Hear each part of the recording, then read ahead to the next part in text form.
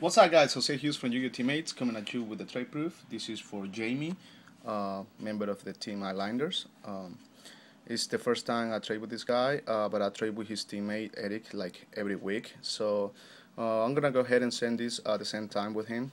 Um, I trust you uh, are as trustworthy as Eric, so yeah. Um, I've been bugging him actually about um, doing a trade with him for a while now, but obviously he's been busy with school and all that. So uh, thanks for replying today, bro. Uh, you're gonna be getting the two uh, super secret villages of the spellcasters, and um, the playset of Surface Super as well. I'm gonna send this out tomorrow morning. Uh, I know you're gonna do the same thing, so thanks a lot. And um, I'm actually happy to call myself you first. No homo. I mean your first trade.